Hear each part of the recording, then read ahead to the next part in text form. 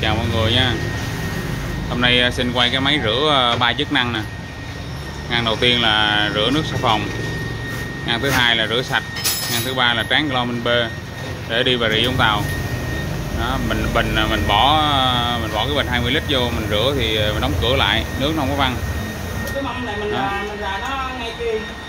Nó xà xà bông thì nó quay vậy thì nó làm bình rất là sạch nha mọi người nha. Xong mình bỏ qua đây mình làm mình ngăn rửa sạch lại đối với những bình mà hay bị rong rêu rồi mình rửa kiểu này rất là sạch luôn. Bình ở trong nó quay màu màu không bình ở trong nó quay rồi.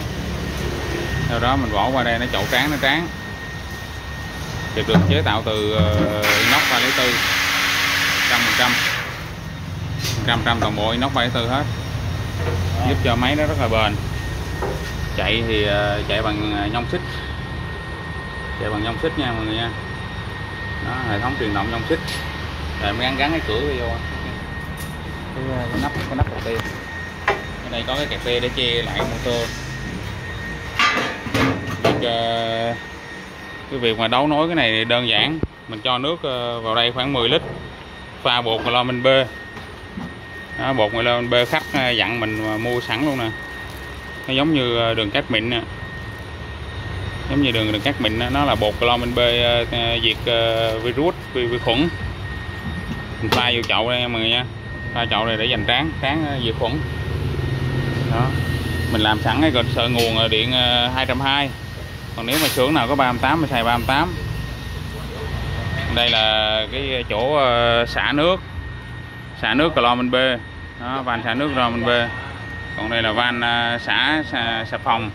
Van xả xà phòng con này chỗ mình cho ờ, mình cho xà phòng vô nè. Cái nắp ờ, bồn chứa xà phòng nó nằm đây. Cái bồn chứa xà phòng nằm đây. Này, đường cái nó hồi nước xà phòng về nè. Mình uh, gắn cái ống nước sạch phi 34 ống nước sạch phi 34 vô cái máy bơm đây. Đó. Gắn ống nước sạch phi 34 vô máy bơm đây. Để nó cấp nước. Để nó cấp nước nha mọi người nha nó mới sạch phi 34 vô đây để nó cấp nó cấp nước ờ, cho cái hệ thống rửa. Mình chỉ đấu đường ống này thôi, đơn giản. Đó.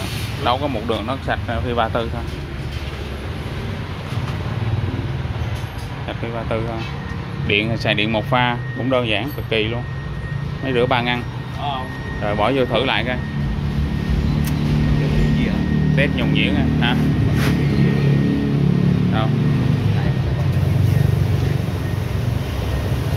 Đèn led đó. Xài uh, bơm inox hết đó mọi người bơm inox toàn bộ luôn.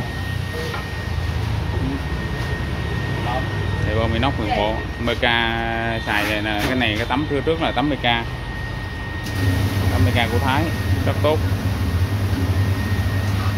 Máy rất là chuẩn rất là đẹp. Giúp cho mọi người ờ, rửa vệ sinh bình một cách ờ, hiệu quả mà sạch sẽ người nữa. Nó, nó đỡ tốn công sức nhiều lắm. Ừ.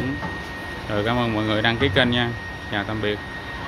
Ai mua liên hệ số 0907 749 286 nha mọi người nha.